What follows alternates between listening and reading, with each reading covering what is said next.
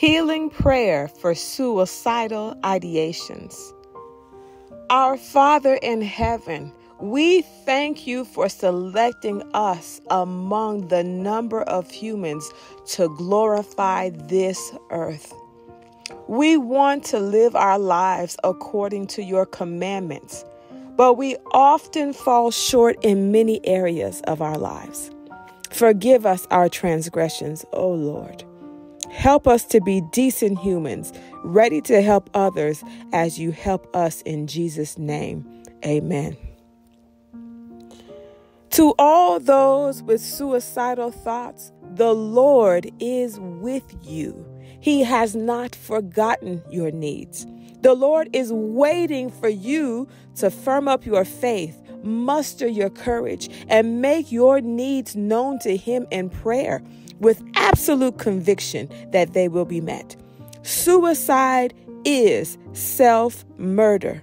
However, the Lord instructed us not to kill and not to destroy life. Oh Lord, I am here now.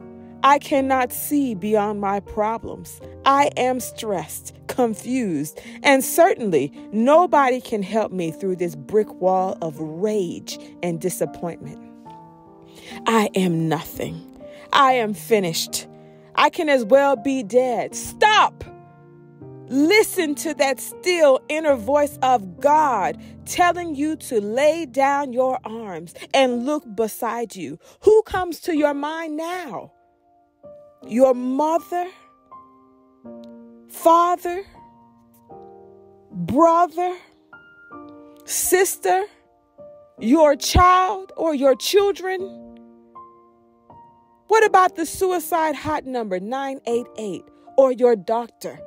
Talk to that person. Lay it all down in the open. Your help is very close. Tomorrow is a new day with new understandings and solutions to your problems. May the Lord guide you through this imminent darkness into light. In Jesus' mighty name, amen. Many situations can drive us to suicidal thoughts and suicide, but we must not do it. Do not commit suicide. We must remember in our sorrow there is no greater power than the power of God. There is no problem too difficult for our all knowing God. Do not be afraid but petition our Maker and Creator for insights, rare understandings, and solutions. Philippians 4, verse 6 Be anxious for nothing, but in everything, by prayer and supplication, with thanksgiving, let your requests be made known to God. Human trials and tribulations are universal but the ways we handle them are specific.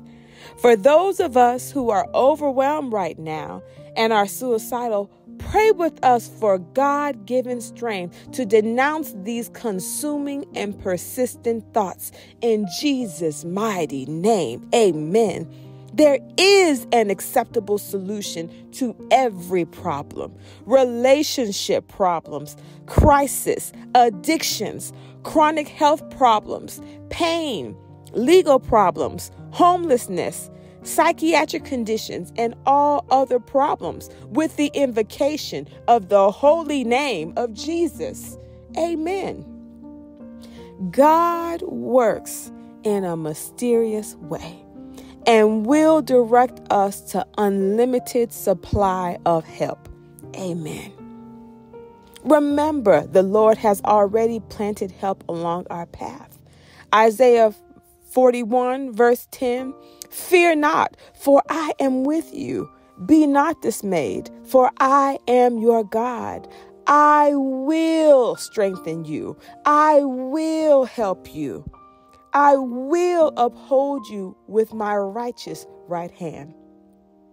We have the spiritual resources to solve problems.